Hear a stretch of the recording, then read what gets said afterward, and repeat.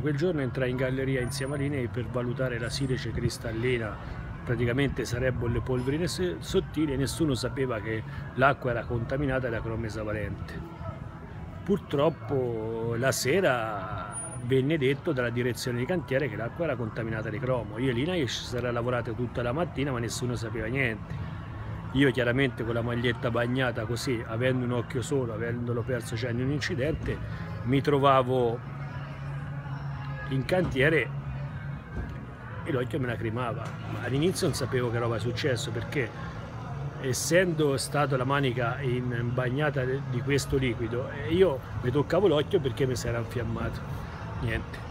Poi il giorno dopo mi senti male, andai a casa e andai all'ospedale. L'ospedale mi disse, non sapeva che roba che era, era tutto l'occhio infiammato di ritornare il giorno dopo. Il giorno dopo praticamente mi ritrovai il viso senza cigli, senza pelle da lì sono stato 20 giorni a casa, sono rientrato a lavorare e nel giro di una mattinata respirando quella cosa il, mi si, eh, tu mi hai fatto tutto il viso tutto pieno di piaghe, pieno di ulcere. E praticamente poi dopo sono passato, ho aperto l'infortunio mi sono passato per 5 anni alle medicine del lavoro, Pisa, Siena, che tutti hanno diagnosticato la sensibilizzazione ai metalli pesanti. C'è una malattia che non guarisce più. Qualsiasi, di 7 anni ancora qualsiasi cosa, respiro, tocco, che sono metalli e sono ubiquitari, presenti sulla faccia della terra, dalle robe che si tiene in casa a quelle che tocchi tutti i giorni, come li tocco, come se sfoga in urcere, piaghe che mi guariscono in 5-6 mesi, per cui non c'è una cura non c'è più niente.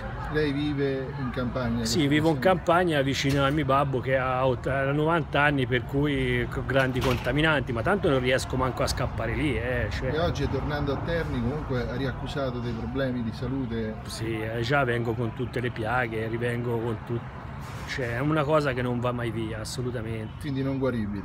No, non si guarisce, questo è stato detto dalla medicina. E terapie farmacologiche? Niente, perché ho il problema del glaucoma, queste ulcere venendo mi alzano la pressione endoculare e non mi possono dare cortisoidei. Quindi lei rischia di perdere la vista? Cioè, nel tempo se questa pressione non si trova un rimedio per abbassarla, il problema con un occhio solo c'è anche da rimanere in cecità. Ecco, eh, c'è un processo in corso, eh, lei cosa chiede? Chiedo giustizia che ormai i tempi vanno, sono quasi in prescrizione, chiedo che almeno, almeno, il primo grado di giudizio mi venga effettuato, che sono sette anni che sono tribunale, fra ospedali, medicina del lavoro, INAL e tribunali, per cui almeno chiedo almeno giustizia nel primo grado civile, lei che ripar ripartire a fare il civile non finisce mai, è una cosa che non ne posso manco più. Lei ritiene che i responsabili, perlomeno i presunti responsabili individuati in questo processo siano gli unici o ce ne siano anche altri? Ma penso che le responsabilità loro ce l'hanno, ma responsabilità poi anche chi ha fatto passare quel lavoro sotto una, sotto una discarica. Cioè lì secondo me le responsabilità in primis è l'azienda, ma poi le responsabilità vanno attribuite anche all'ANAS. Come hanno fatto poi da quello che ho letto dopo che sono stato male, mi sono informato, mi è diventato tipo un film.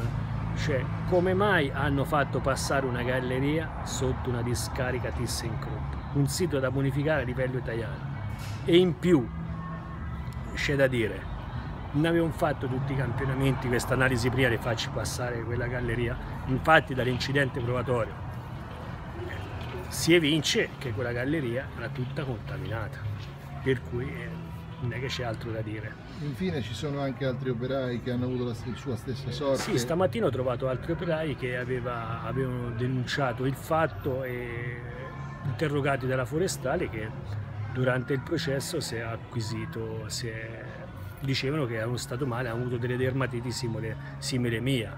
Purtroppo i tempi non ci sono stati, il pubblico ministero, il giudice non l'hanno sentiti, però parlare con loro che sono trovati lì dopo anni che non li rivedevo, anche loro hanno accusato dei problemi a livello dermatologico.